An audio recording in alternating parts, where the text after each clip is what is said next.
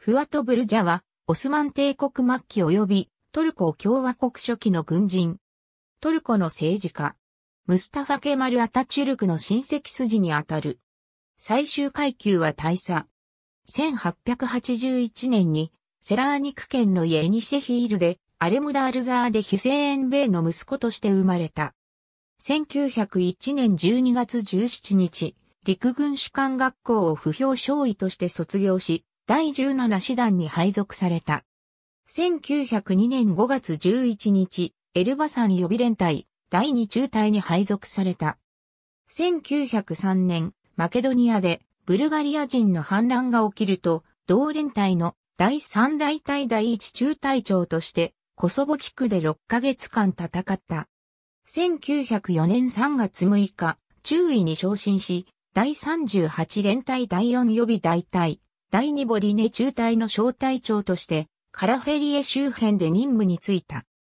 1906年2月19日、所属部隊が正規部隊に改編され、第90連隊第4大隊となり、同大隊とともに第2次立憲制の宣言まで、キョプリルやゴスティバルに泊まって、ブルガリア人ゲリラと戦った後、1908年6月4日、ボディネに戻った。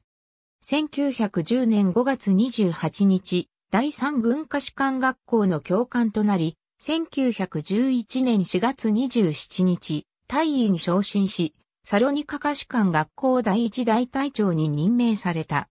井戸戦争では、10月24日に、ベンガジ戦線に派遣されデルネ東部地区の指揮官として、約1年間、イタリア軍と戦った。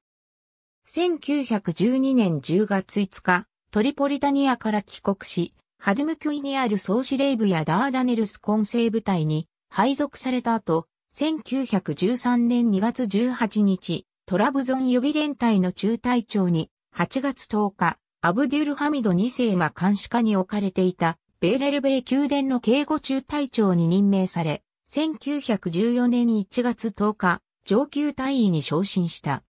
1914年9月2日に、オスマン帝国が総動員令を発令すると、第15連隊第3大隊長としてベルガマに送られ、9月14日、少佐に昇進した。12月18日、第24連隊第3大隊長に任命され、ガリポリ戦線のアナファルタラル地区で戦った。連合軍がガリポリ半島から撤退した後、クルクキリセに、さらに新地境に送られた。1916年5月14日、第23連隊の連隊長代理となり、ムシとジャパクチュルでの戦闘に参加した。1918年3月31日、同連隊を率いて、シリア戦線のユルドルム軍集団霊下の第4軍に配属された。英連邦軍のメギット構成時、ダマスカス陥落の2日後、ヨルダン川西岸のドマ付近で、アースムベーシキカの第48師団と共に、オーストラリア・ニュージーランド軍団騎乗師団の捕虜になった。1920年3月30日、釈放され、イスタンブールに戻った後、アナトリアに渡り、12月21日にイネボルに上陸し、アンカラに至った。12月28日、第一師団不評旅団長、1921年1月14日、同志団長代理となり、3月14日、中佐に昇進した。サカリアの戦いに第20師団長として参加した後、第11師団長に任命され、10月25日にはアンカラ司令部司令官となった。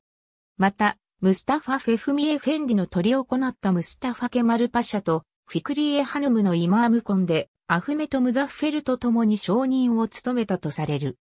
1923年7月15日の大劇、大国民議会の選挙で432票を獲得しりぜ、県から選出され、8月11日、初登院した。第3期、第4期に森瀬県から、第5期には、チョルフ県から大国民議会議員に選出された。1925年1月4日、大佐に昇進した。1927年7月17日、胃がんにより退役した。この間、ジェバート・アッパスベイの公認として、トルコ航空協会の会長に就任し、1939年3月1日まで在任した。ムスタファ・ケマル・アタチュルクの死後、イスメト・イニョニが大統領に就任すると、シュクリュカやアリ・クルチ、レジェプズ・ユヒティウソ役、シャーキル・ケセビルなどと同様に政治から遠ざけられた。